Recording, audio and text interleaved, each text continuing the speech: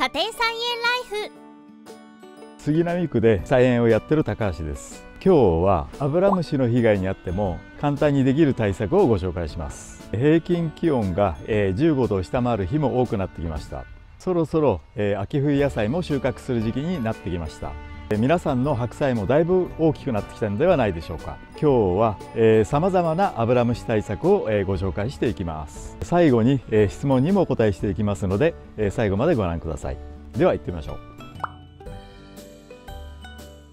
えー、では白菜の状況を見ていきましょう。こちらはですね9月の頭に植え付けたミニ白菜です。この状態でまあ大体まあ8割9割ぐらいもう、えー、結球してきてますね。かなり内部の葉っぱがこうしっかりとこう詰まってきてますのでもうほぼ収穫しても問題ないようなサイズに育ってきています。この状態からはですね、えー、現状でも収穫してもいいんですけれどもあの中がしっかり詰まってくるまであと、まあ、12週間ぐらいではないでしょうかね。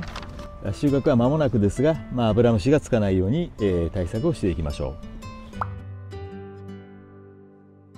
それではきれいな白菜にするための、えー、実施作業をご紹介していきます。一つ目は、えー、アブラムシ対策です。この時期になってもですねまだアブラムシというのは発生する、可能性は十分ありますので、えー、アブラムシ被害っていうのは十分考えられます。アブラムシの被害に遭うとですねやっぱ葉っぱが変形してしまったり、まあ、アブラムシによって媒介されるようなですね、まあ、ウイルス病、まあ、いろんな病気がありますのでまだまだ注意が必要です。でアブラムシ対策としてはですね、まあ、油石鹸水。を使ってですねあのアブラムシを窒息させるというふうなことをやってます。ただアブラムシはですねかなりの数が、まあ、広範囲にわたってですねついてるケースが多いので、まあ、油石鹸水をですねスプレーしてもですねまあ、完全に1回でですねあの全滅させるということはかなり至難の技です。ですので何回かですねあの定期的に噴霧していただいてできるだけあの、まあ、全滅させるようにしていただければと思います。是非やってみてください。実施する作業の2つ目です。病気対策です。アブラムシと同様に収穫間近でも被害に遭うことがあるので注意してください。えー、特に南部病などにはあの気をつけていただきたいと思います、まあ、南部病はですね、まあ、葉っぱとかですね茎がまあドロドロにあの、まあ、溶けてですね臭いあの匂いを放しますので、まあ、明らかにまあ病気ということはまあ分かるあの病気なんですけれどもまあ、特にまあ泥水がまあ跳ねてですね野菜のあの傷口に入り込んでしまう。これからはやはり注意しなくちゃいけないあの病気の一つになっています。もしあのマルチをお使いになっている方はですねあのマルチの上にあの、まあ、泥水とかですねたまらないような、えー、対策をですねあのしていただければと思います、えー、病気にも、えー、気をつけていきましょう。続いて3つ目です。血球部分に土がかかってしまうとそこからですね病気にかかってしまうケースがあります。あの防虫ネットのですね密封性を高めるためにこのようにですね土をあの裾に乗っけるということはよくやるんですけれども防虫ネットを開ける時には土はよく払ってですねそれからあの防虫ネットをあの開けるようにしましょう。収穫間際にも気をつけてください。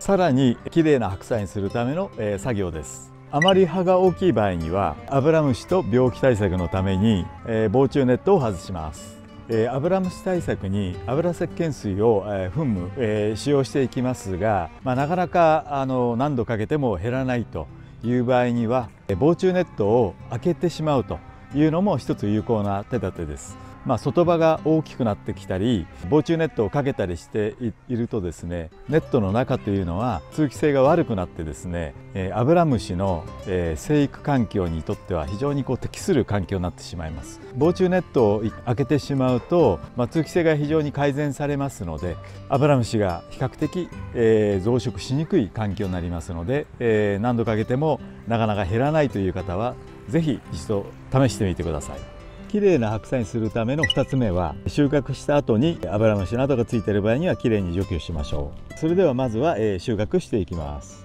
あの白菜の収穫の場合にはですねまずこの外葉はですねあの特にあの食べませんので、まあ、この外葉を広げます。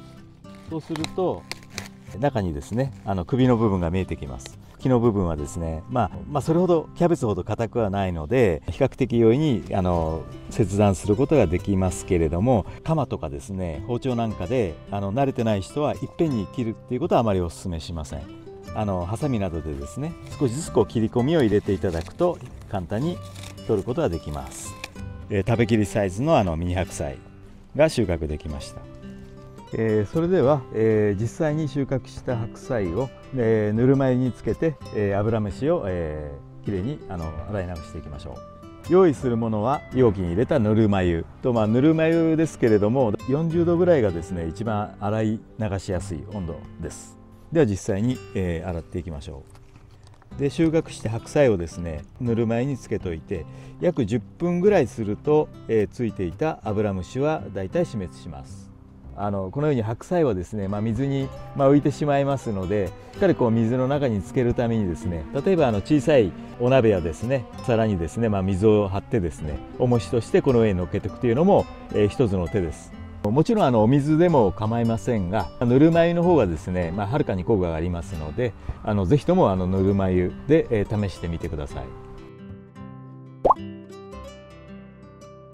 えー、それでは質問コーナーです。こちらの、えー、白菜の動画にコメントいただきました。